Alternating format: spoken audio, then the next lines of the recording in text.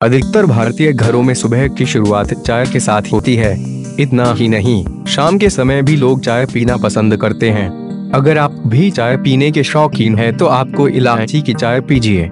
इससे आपको स्वाद के साथ साथ बेहतर सेहत भी प्राप्त होगी।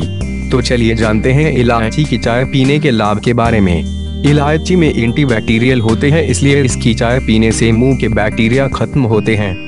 साथ ही इसकी खुशबू भी काफ़ी मनमोहक होती है, इसलिए इस चाय का सेवन करने से मुँह की बदबू जैसी परेशानियाँ भी खत्म होती है।